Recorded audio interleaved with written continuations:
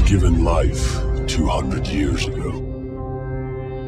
I am like none other.